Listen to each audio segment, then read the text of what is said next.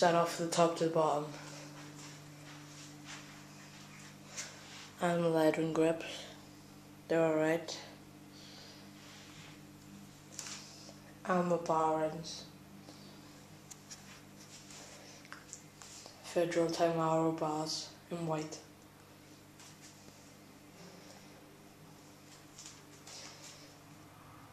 Animal grip again.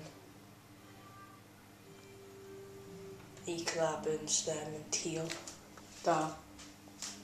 Dark teal. Salt top cap. United headset. Salt plus forks. Oh, salt forks. Salt plus for tub. Eclat tripping rim. Eclat control tire.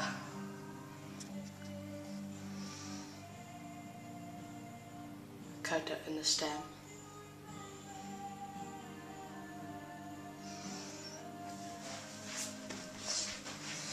We look at the zodiac frame.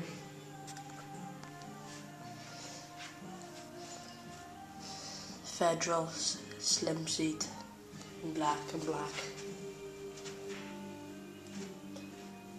Odyssey Twisted PCs in white and red.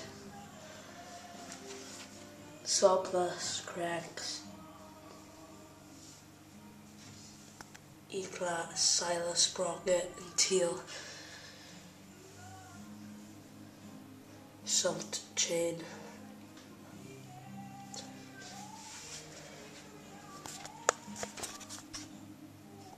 Salt bum bracket.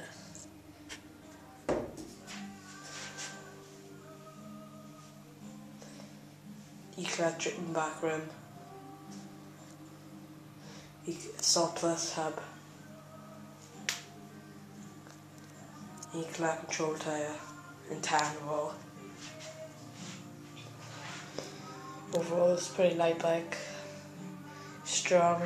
The only problem I've had is the Salt Plus headset. And everything else has been fine, really. Um, this bike, I don't fix in stock anymore, but it's customized. And I'll do another hub check.